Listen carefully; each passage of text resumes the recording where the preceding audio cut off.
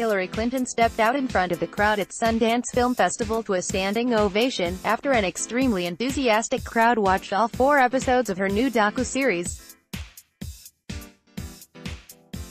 Hillary, a four-part docu-series directed by Academy Award-nominated director Nanette Burstein, On the Ropes, takes viewers through a thorough background on Clinton's political career, from her college years to the 2016 presidential election. Clinton joined Burstein on stage following the Sundance premiere of all four hour-long episodes for a short Q. As has been previously reported, Clinton did not mince words when it came to her former opponent and current presidential candidate Bernie Sanders.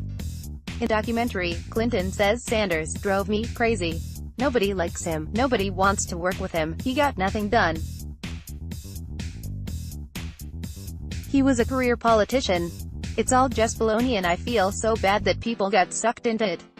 At Sundance, an audience member asked Clinton what she had to say to Sanders supporters who were in the audience on Saturday night. Who would you tell them to vote for, asked the audience member. People can support whoever they want to support, responded Clinton. But once we have a nominee, close ranks. Support that nominee. Her response was met with enthusiastic applause from the Sundance audience.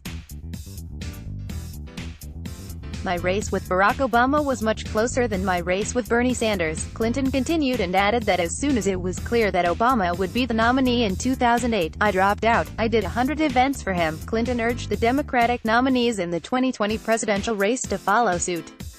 Earlier in the panel, Clinton noted that women candidates running this year face a new challenge. The new element is the really vicious online community that goes after women, said Clinton. You see this particularly aimed at Elizabeth Warren.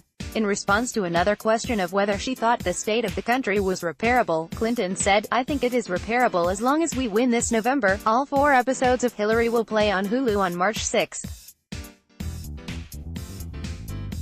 Share this watch Hillary on Hulu let's block ads. Why?